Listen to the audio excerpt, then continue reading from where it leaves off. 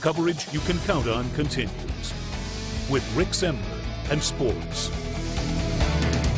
Welcome back. North Vermillion's football win Friday night over unbeaten Parke Heritage has raised the Falcons to fifth in this week's 1A polls. The big victory has also earned Brian Crabtree the Colts NFL Coach of the Week. This is the first time Crabtree has earned this honor in his 15-year coaching career. Coach Crabtree's bunch won a thriller 42-36 over Parke Heritage and took over first place in the WRC. The Falcons, who finished last year as the 1A state runner-up, are having another good season. They're 6-1 and return back to action Friday with a road game at Fountain